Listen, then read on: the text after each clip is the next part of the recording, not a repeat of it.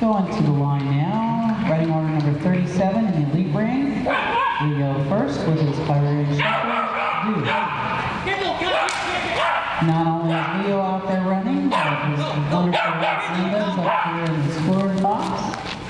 And she is watching this run as opposed to scoring.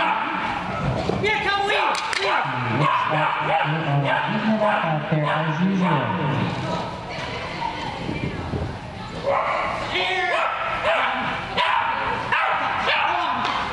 Nice run by